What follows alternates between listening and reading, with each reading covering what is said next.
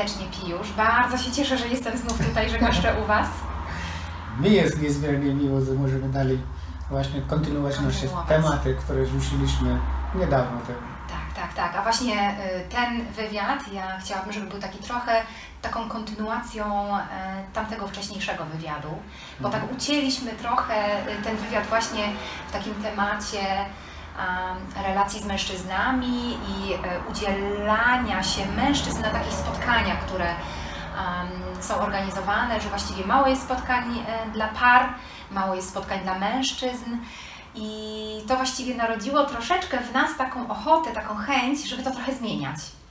Dokładnie. A co się w Tobie pojawiło? Bo to tak u Ciebie właśnie zabrzmiało, tak ja pamiętam jak już wyłączałam kamerę, to było coś takiego, że już wiem, mam pomysł jak przyciągnąć facetów na spotkania, jak, jak, jak spowodować, żeby mężczyźni przyszli, jak Ty to czujesz, jak Ty to widzisz? Jak ściągnąć mężczyzn na takich spotkaniach, to niestety jest ręka kobiet, tak szczerze powiem. Mhm. I macie najlepszą broń w swoich rękach, co my mówimy, seks. Mhm. Wtedy można zaszantażować mężczyznę, zachęcić. To jest dobry sposób. Ale to żartuję oczywiście. To jest tak pół żartem, tak szczerze mówiąc. Problem jest taki typu... dużo się za tym kryje. Dużo się za tym kryje. Mhm. Ale podczas ostatnich naszych e, spotkań i rozmów e, dotarło do mnie, że coś jest nie tak, zwłaszcza w tym świecie zachodnim.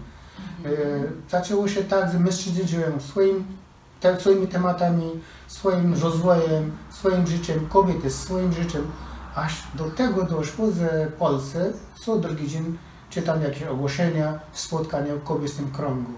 Tu spotkają, tam spotkają. I no niestety nie jestem kobietą, nie byłem w tych spotkaniach, ale przypuszczam, że tam kobiety raczej rozmawiają, co one robią, co ich e, kurza, co im się podoba, jak one się rozwijają, co w swoim życiu robią. I na pewno także są tematy, z tego zresztą, co mi odpowiadają niektóre kobiety, z ich partner lub mąż tego nie rozumie, tego nie chce robić, on nie chce tak samo zmieniać jak one, on się nie rozwija i tak dalej, i tak dalej. Wtedy e, dotarło do mnie, że taki jaki ma sens takie spotkanie, gdzie tylko kobiety się spotykają i nawet później nie są w stanie tego przekazać partnerowi, mężowi, one tylko machnął rękę, że dobrze, byłam z koleżankami, pogadałam, wypiłam kawę, dobrze się czuję, powiedziałam wszystko, co mi należy na sercu i tylko ten jeden wieczór, to, to nie wystarczy. Chyba, że chcą tak zostać. Ale według mnie cel jest inny. Cel jest taki, żeby poprawić swoje relacje z swoim mężem, partnerem, swoim rodziną. Aby to zrobić, to kobiety muszą po pierwsze zacząć rozumieć, że nie tylko one się rozwijają. Mężczyźni też się rozwijają, tylko po swojemu. Ale jeśli kobiety mówią, on się nie rozwija, to jednocześnie chcę powiedzieć, że on się nie rozwija tak, jak ja chcę, żeby się rozwijał. Być może on się też może rozwijać tak, jak ona chce. Tylko to musi być relacja, musi być rozmowa.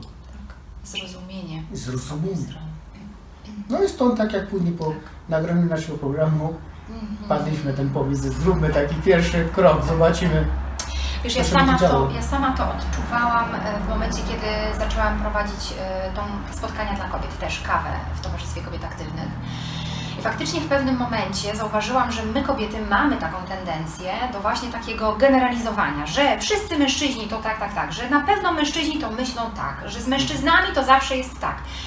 I y, powiem szczerze, że mnie to strasznie zawsze y, jakby budziło we mnie taki trochę bunt, że nie, nie wchodźmy w to, że my nie wiemy, co mężczyźni myślą. My możemy tylko właśnie ze swoich projekcji, ze swoich wyobrażeń, stworzonych jakichś tam iluzji, tak, bo to nie jest prawda, to jest mhm. dalekie często od prawdy, możemy gdybać, co mężczyźni myślą na dany temat, co by zrobili, co by powiedzieli, mhm. jak, jak postępują.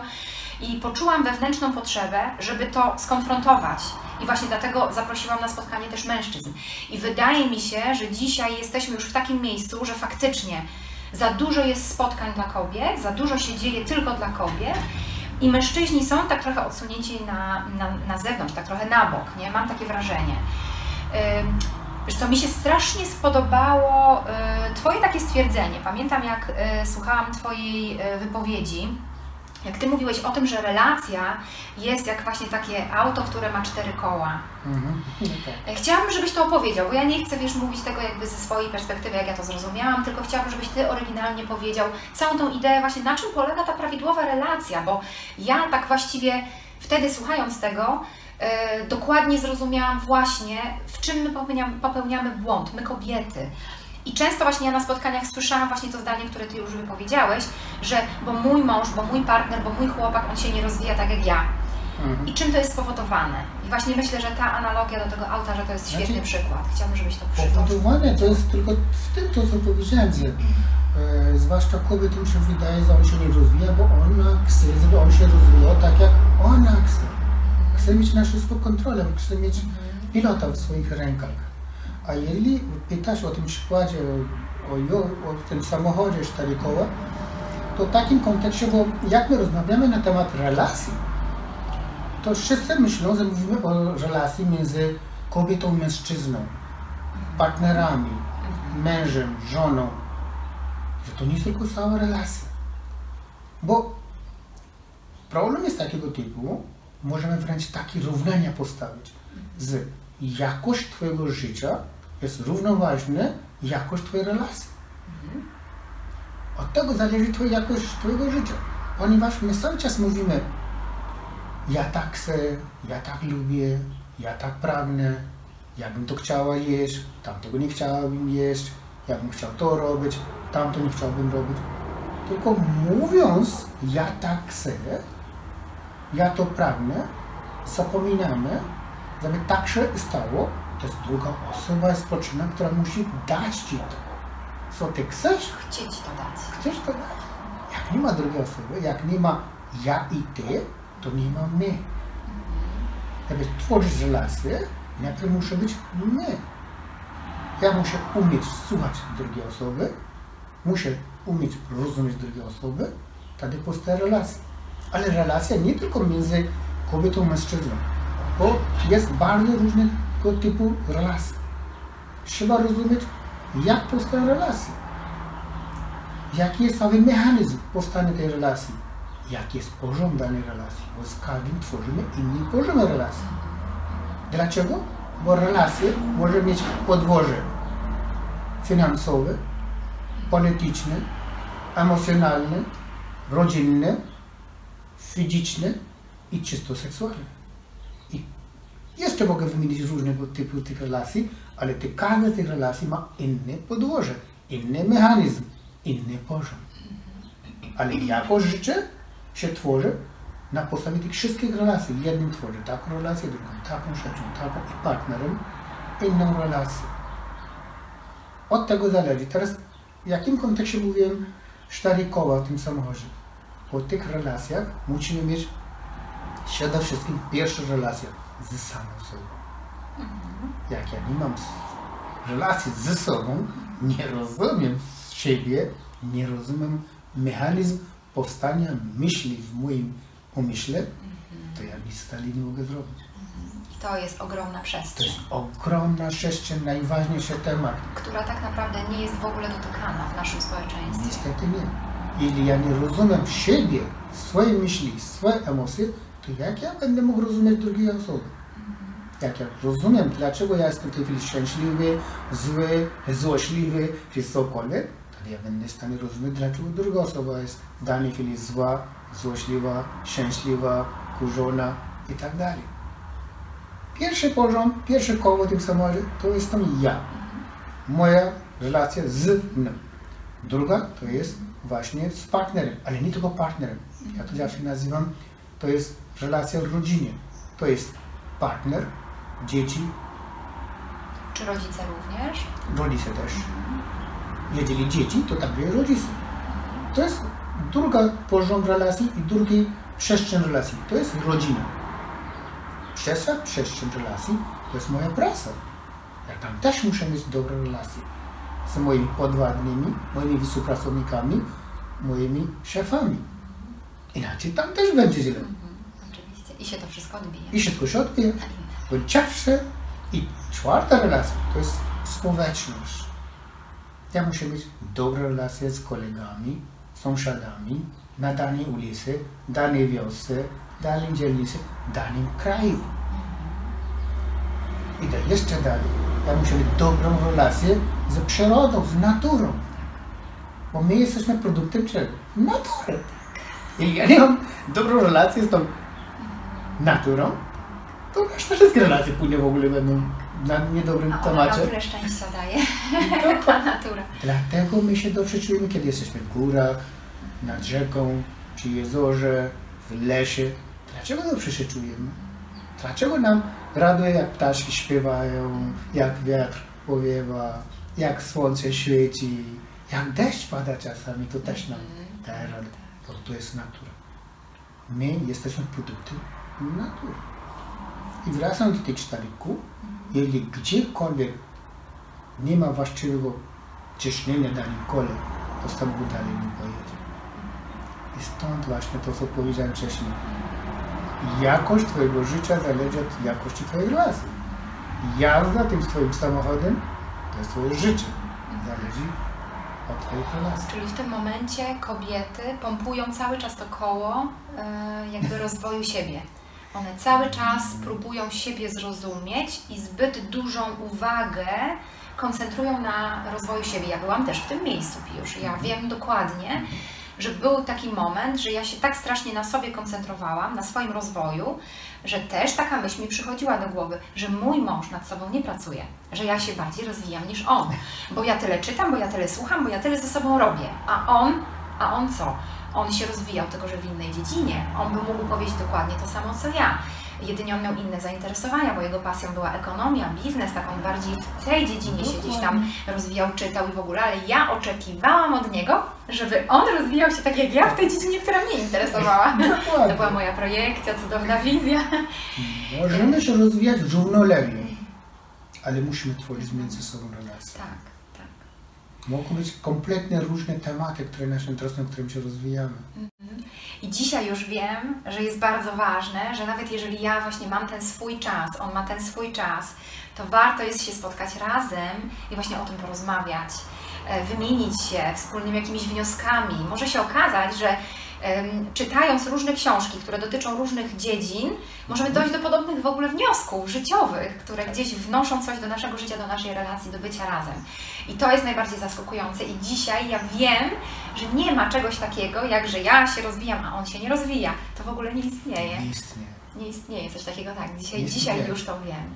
Y, Jeszcze coś powiem dalej, wiesz, e, każdy się rozwija inaczej. Jeden się rozwija pracując. Bo jeżeli on coś pracuje, cokolwiek robi, jest aktywny, to na podstawie jakiejś wiedzy. I robiąc czegoś, zdobywa następną wiedzę. Bo on w praktyce zdobywa wiedzę. A jest druga osoba, która możemy powiedzieć jest bardzo odczytana. Czytał tysiące książek, ale coś tego, jeżeli czytał, jeżeli tego nie praktykuje, nie prowadzi w swoim życiu. To ja wolę takie osoby, które nie są odczytane, ale poprzez swoje czyny jest lepsze i jest, zdobywa wiedzę w praktyce. No, kiedy doświadczymy, to to już my tym jesteśmy. To, to już jest w nas. Nie? A czytając to jest tylko gdzieś tam Tylko, niewykorzystana tylko wiedza. nieko- niewykorzystana wiedza. Dlatego w jodze mówimy, e, są różnego poziomu e, różne nazwy jogi. To jest karma yoga, dhyan yoga, gyan yoga, bhakti yoga i tak dalej, i tak dalej. Bo yoga się nie dzieli na yoga, e, yoga, hatha yoga, vinyasa yoga, vipassana yoga i tak dalej. To się dzieli na właśnie karma yoga, gyan yoga. Karma yoga właśnie to, co ja robię, czyny, moja powinność.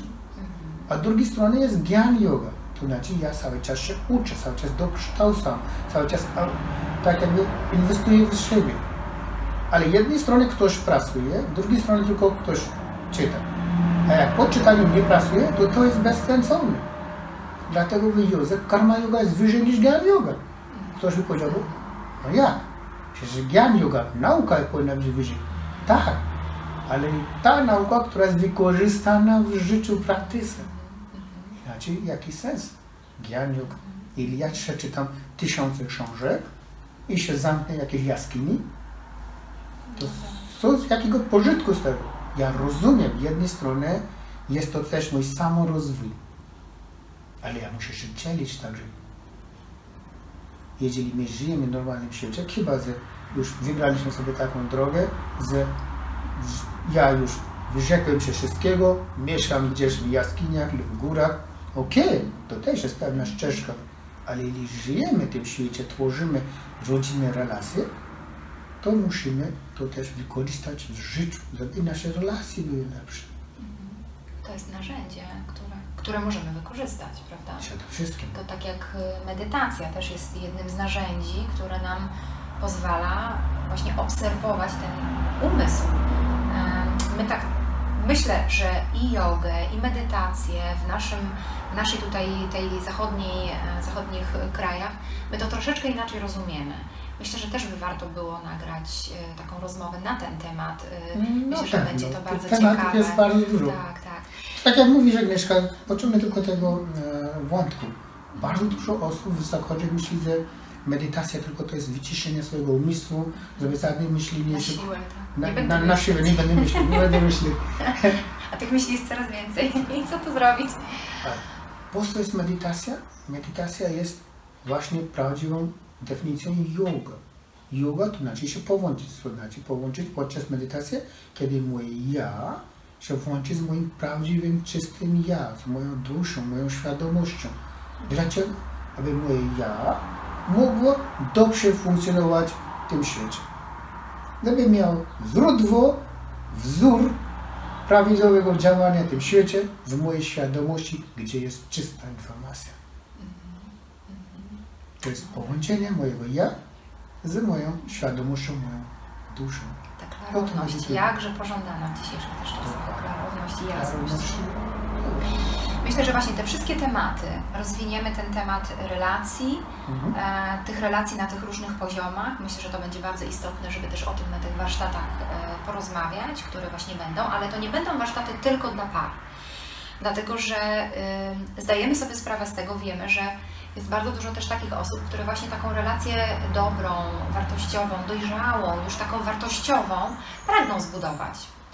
Jak Ty to odczuwasz właśnie? Jak, jak dostrzegasz, jak, jak obserwujesz takie osoby, e, które właśnie mają trudność ze znalezieniem partnera? Jaka może się za tym kryć przyczyna? Oczywiście to jest generalizowanie, więc to będzie tylko jakaś tam powiedzmy koncepcja czy jakiś kierunek, bo każdy przypadek jest indywidualny, więc nie możemy tutaj jakby powiedzieć, że taka jest jedyna prawda i, i koniec, ale e, właśnie jakie są podstawowe takie mechanizmy gdzieś tam w nas, które Mhm. powodują, że, że właśnie my na tą relację gdzieś, nie wiem, nie otwieramy się może? Co, No. co takiego jest? Tak jak sama powiedziałaś, że tych przyczyn może być bardzo różne, to jest bardzo indywidualna sprawa, ale jeśli chciałbym takie jedno ogólne powiedzieć, to powiedziałbym, że więcej ja we mnie. Im więcej jest ja i moje, tym mniej jest mnie w przestrzeni całej ogólnodostępnej. Im więcej cały czas mówię ja i moje, tym mniej ja jestem obecny dla innych. Jak nie jestem obecny dla innych, to nie mam jak stworzyć relację. Ale to może być też taki moment w związku, kiedy jesteśmy w związku, jesteśmy w parze i nagle właśnie zaczynamy zaburzać tą przestrzeń poprzez właśnie kierowanie tej całej energii tylko na siebie. Nie? Tak, Też może powodować. tak, y, nawet wręcz proszę zwrócić uwagę, w jakim języku rozmawiamy. To jest moja szafa, mój samochód, Moje moje łóżko, moje dzieci, moje krzesło. Mhm. Wręcz nawet nie mówimy nasze dzieci, nasz dom, nasz samochód. To niby są tylko słowa. Ale słowa mają bardzo głębokie znaczenie. Jeśli ja cały czas powtarzam ja, moje, ja, moje, ty jesteś obok, wtedy bardzo łatwo odciąć tego ten ty i dostaję ja i moje. Stąd powstają różnego typu konflikty. Tylko problem jest taki, że jak na naszych warsztatach teraz będą tacy osoby, które chcą stworzyć takie relacje, to będzie dla nich tak jakby lekcje, tak jakby wskazówki, co powinni zwracać, na co powinni zwracać uwagę na siebie, żeby mieć zdrowe relacje. Żeby stworzyć taką przestrzeń, nawet nie można stworzyć relacji na siebie, No, no, tylko można na tylko stworzyć przestrzeń, Tak. otworzyć taką Mhm. siebie, tak szczerze mówiąc. A jak będą pary, to by oni mogli rozumieć, dlaczego coś tam szwankuje. Ale paradoksalnie Albo muszę jak powiedzieć, poprawić, jak jak poprawić, albo rozumieć, Mhm. nawet nie poprawić, bardziej. rozumieć. Mhm, tak, Bo jak tak, mówisz tak. poprawić, to każdy Tak, mówi, to ja nie, ja nie mam co nie tak. poprawienia. Tak, tak, tak, tak. Raczej rozumieć, bo wszystko jest ok, ponieważ dlaczego jest wszystko ok? Bo każdy z swojego punktu widzenia myśli, że wszystko jest ok. Dlatego chodzi o bardziej rozumienie niż poprawienie. Tylko moje miłe panie, to jest w waszych rękach, wasz partner zechciał chociaż raz być z tobą, żeby z wami. Ponieważ my e, na tym warsztacie nie będziemy tylko, ja będę się starać też, tak jak z Tobą rozmawialiśmy, że nie będziemy tylko robić to, że e, tylko rozmowa. Będziemy też różnego typu praktykować, różnego typu ćwiczenia, różnego typu sposoby e, uwalniania siebie ze swojego, swojej skrupy, tak bym to powiedział, poprzez ćwiczenia, poprzez oddech, poprzez medytację i poprzez różne gry i zabawy, tak jak. No bo to jest o wiele ważniejsze, bo to jest y, z jednej strony jest wiedza, nasz umysł potrzebuje zrozumieć i wiedzieć, ale z drugiej strony nasze ciało potrzebuje doświadczyć i poczuć to. Nie? I właśnie to właśnie Zawsze będzie bardzo mówię. ważne, żeby na warsztatach znalazło się też to Zawsze tak oddziaływanie. tłumaczę, na moich warsztatach, jeżeli ktoś Ci mówi, że tak jest, to nie uwierz to. Tak. Dopóki nie doświadczysz sam, to już reszta wszystko jest tylko teoria. 100% prawdy. Wtedy to, to jest niepożyteczne, Ni- nic nie da. Jeszcze chciałabym, żeby mm, też tutaj poruszyć jeden temat, dlatego że y, jeżeli mówimy o relacjach, to też y, jest ta przestrzeń bliskości. Żyjemy w takim świecie, czy żyjemy w takim społeczeństwie, w którym tak naprawdę właśnie no, nie jesteśmy uczeni tego, jak te relacje właściwie budować i, i też właśnie jak budować tą przestrzeń bliskości. E, Ja jestem ciekawa Twojego punktu widzenia, w ogóle czym jest bliskość i y, jak my tą bliskość możemy budować, jakby co jest niezbędne do tego, żeby ta bliskość zaistniała w tej relacji już damsko-męskiej, tak? Dlatego, że e, wiadomo, że to inaczej wygląda na polu zawodowym, inaczej wygląda to na tej przestrzeni społecznej, kiedy my oddziałujemy z koleżankami, z kolegami, czy w społeczności, w której funkcjonujemy gdzieś e, w, mm, gdzieś po prostu na jakiejś dzielnicy, w której żyjemy, w osiedlu. E, Natomiast z partnerem zdecydowanie y, każdy z nas pragnie tą bliskość czuć. I myślę sobie, ja wiem też jako kobieta, że ja miałam z tym też ogromny problem, żeby tą bliskość odczuwać. Ja się bardzo często czułam wewnętrznie samotna. I jestem ciekawa, bo ja odkryłam coś dla siebie, jestem ciekawa też Twojego e, spojrzenia na ten temat, jako mężczyzny. Czym jest bliskość dla mężczyzny? Z Twojego punktu widzenia, jeszcze mężczyzny, który pochodzi ze wschodniej, e, nazwijmy to ze, ze wschodnich rejonów, e, gdzie jesteście bardziej otwarci na tą właśnie taką szerszą może wiedzę, taką bardziej właśnie intuicyjną, e, bo my jesteśmy bardziej uczeni takiego konkretnego zrozumienia i rozcinania tego, Mhm. tego świata na, na kawałeczki. Jak Ty to widzisz, jak Ty to rozumiesz, bliskość? Znaczy, bliskość to jest. Zaczyna od drugiej strony najpierw. Z, od tego, czego już zaczęliśmy, że nawet nie ma czasu dla siebie. Ponieważ my nie rozumiemy siebie, nie mamy czasu dla siebie i tak samo nasz partner, nikt nie ma czasu dla siebie, wtedy e, w, relacji damsko-męskiej powstaje tylko niestety seks, który jest seksem mechanicznym. Wtedy my mówimy niby codziennie od rana do wieczora kocham Cię, kocham Cię, kocham Cię, ale de facto e, nie rozumiem, co znaczy kocham Cię. Bo kochać drugiej osoby to ma podstawę bliskości, rozumienia, szacunek, bezinteresownego szacunku, bez, interes, bezwarunkowego. A ta bliskość powstaje wtedy, kiedy po pierwsze, znowu wracam do tego samego. Jak najmniej jestem ja i moje, i jednej drugiej strony, wtedy się zaczynamy otwierać, jak się otwieramy, wtedy się zbliżamy do siebie. I ta bliskość nie może być tylko na podstawie seksu.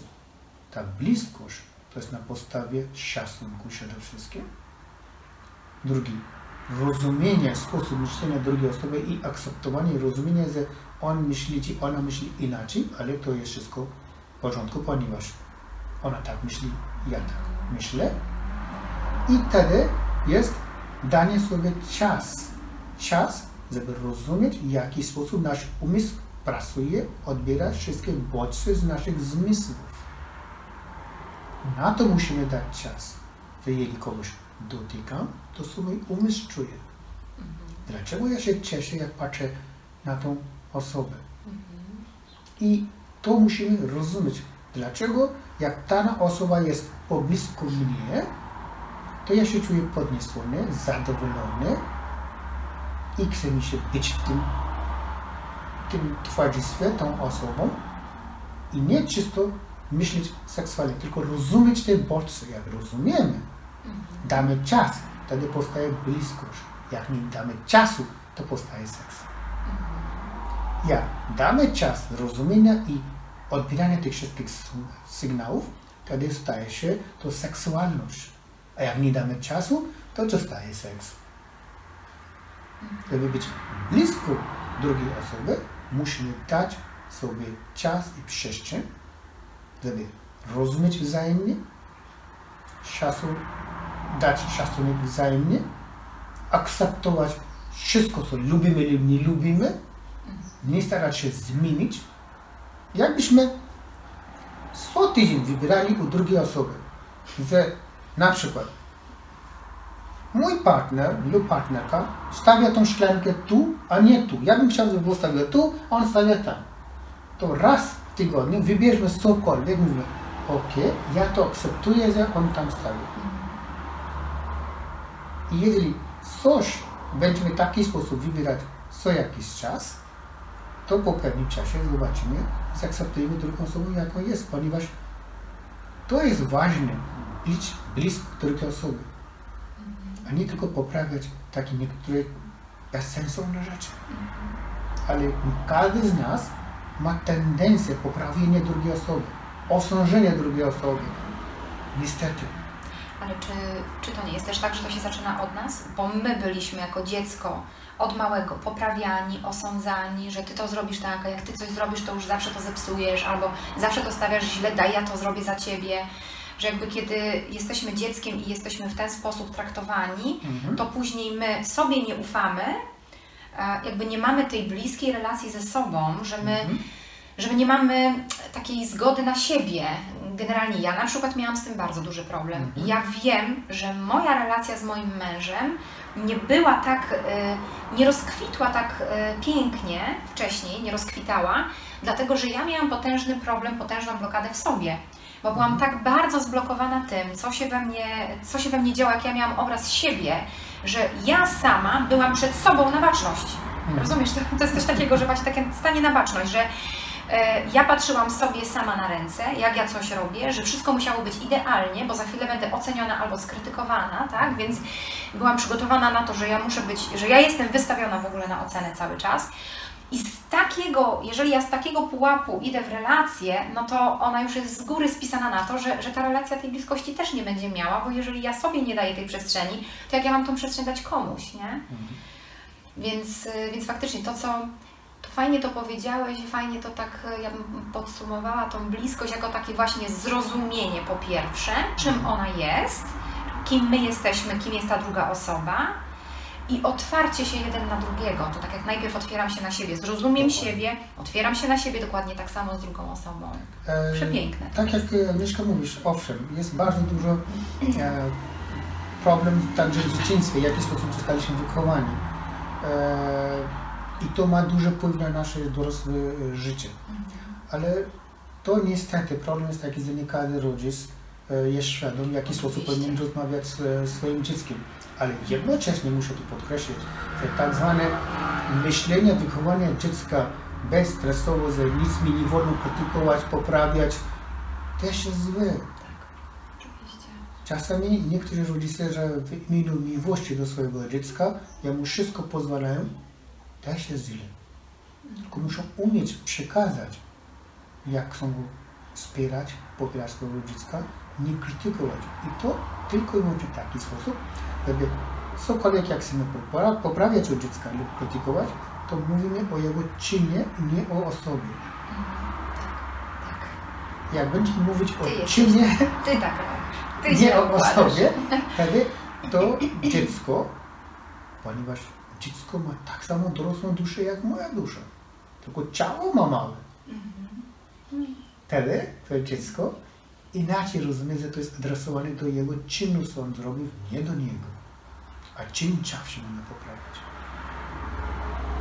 I później, jeśli mówimy o osobie, wtedy niestety my i tak nie jesteśmy w stanie nic zrobić sobie, jeśli mówimy o duszy, ale do jego ja, jego osobowość, która powstaje, tam zostawiamy ślad, mówiąc właśnie w taki sposób. I ten ślad później ciągnie niestety przez całe życie i jedna osoba się poradzi z tym, druga osoba nie poradzi z tym. I później są problemy w relacjach. Czy to na poziomie społecznym, czy w pracy, czy relacje w rodzinie. Gdzieś powstaje. Czasami może być tak, że osoba bardzo w fantastyczny sposób pracuje, w pracy nie ma żadnego problemu, ma fajnych kolegów, ale w domu nie. Albo w domu jest dobrze, ale na zewnątrz już nie radzi sobie. Nie potrafi. I bardzo często właśnie źródło jest w dzieciństwie. Ale po to dostaliśmy ciało człowieka, aby nasza inteligencja mógł się tym zająć. Tak, tak, żebyśmy to zrozumieli Tak, i żebyśmy mogli zacząć postępować zupełnie inaczej, Zupełnie inaczej. zaczęli to naprawiać. Dlatego bardzo dużo osób myśli, że yoga to jest coś z Indii, to jest jakaś religia, to jest pochodzi z tamtego regionu. Nie, yoga to jest właśnie opis człowieka. Dokładny opis człowieka, który został opisany 3-4 tysiące lat temu, jest aktualny do dnia dzisiejszego, bo człowiek jest człowiekiem taki sam, jaki był. No i właśnie o tym, jak do tej harmonii dojść, jak tą harmonię sobie odnaleźć, w budowaniu tych relacji, myślę, że będzie dużo na, na ten temat już w listopadzie. Dokładnie. Stąd nasz temat. Nie ma mnie bez ciebie. Tak, nie ma mnie bez Ciebie. Ja pamiętam swoją pierwszą reakcję, jak Ty to powiedziałeś, wiesz, nie, nie miałam takiej Tak. No zgody. nie ma mnie bez ciebie. No przecież Ja tak, jestem. przecież ja jestem pełna.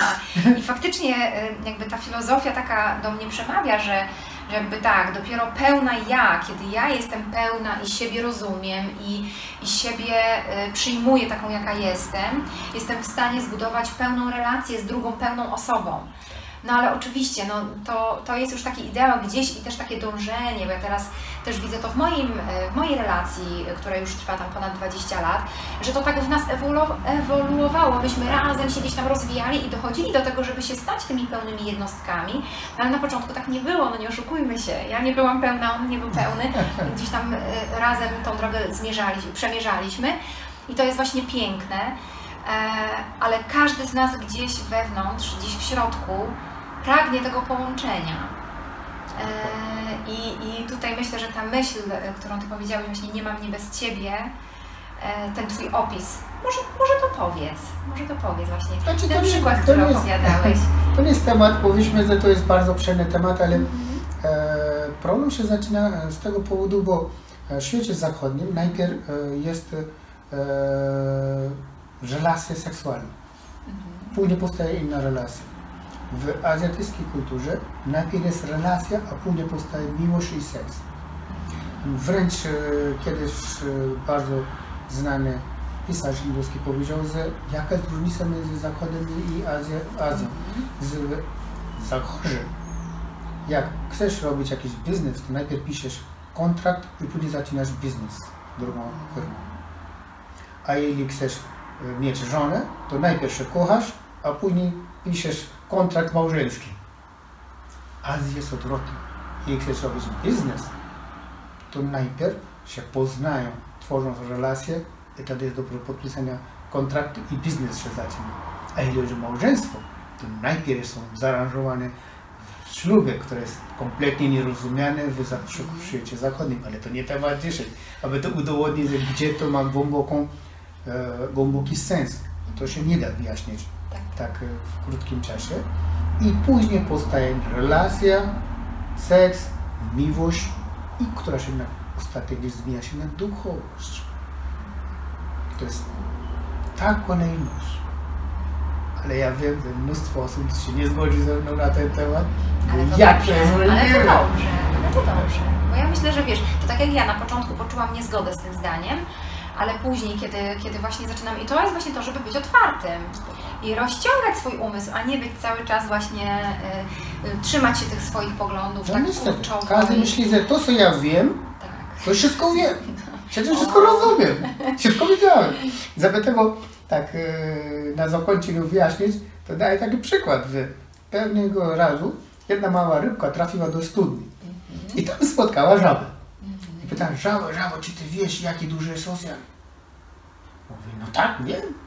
Taki duży. Rybka mówi, nie, ale ty jesteś głupi.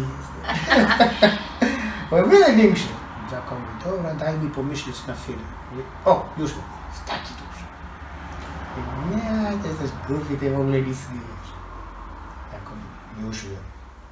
To jest od tamtej ściany do tamtej ściany. Rybka mówi, ty jesteś kompletnie głupi. Żaba mówi do rybki, ty kłamiesz. Powiedzmy Mieszka, kto tu kłamie, a kto tu jest głupi? I nikt nie kłamie i nikt nie jest głupi. Ponieważ jeden i drugi się nie otworzyli. Nie rozumieli, że on ma inną perspektywę. To jest jego cały świat. A rybka ma inny świat. Ona nie rozumie tego. Jeszcze inaczej. Powiedzmy, że to jest ryba z Bałtyku. I teraz do tej studni trafia ryba z Oceanu Indyjskiego. I co ona powie wtedy tamta rybka? Wtedy nic nie wiesz. To jest ten problem. Każdy z nas myśli, że ja wszystko wiem Ze swojej z perspektywy. perspektywy. I tu wystarczy być tylko otwarty. Wszystko, czego na dzień dzisiejszy nie rozumiem, nie wolno skreślić.